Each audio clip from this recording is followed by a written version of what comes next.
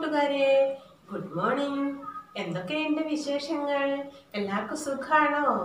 Okay ഇന്ന് നമുക്ക് പുതിയൊരക്ഷരം പഠിക്കാനുണ്ട്. ഇതാണ് റ് എന്ന അക്ഷരം എല്ലാവരും പറഞ്ഞേ റ്. റ് എന്ന അക്ഷരം വരുന്ന വാക്കാണ് ഋഷി. സന്യാസിക്ക് പറയുന്ന പേരാണ് ഋഷി. നമുക്കിനി റ് എന്ന അക്ഷരം എഴുതി പഠിക്കണ്ടേ? നമുക്കൊന്ന് എഴുതി നോക്കിയാലോ?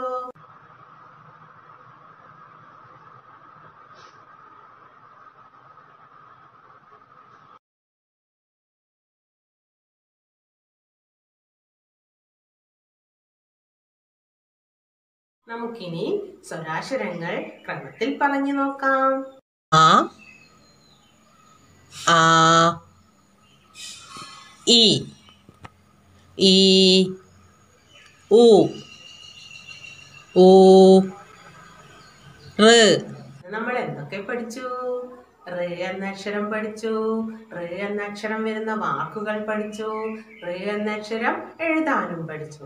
ഇനി നിങ്ങൾ റേ എന്ന അക്ഷരം നന്നായി എഴുതി പഠിക്കുക.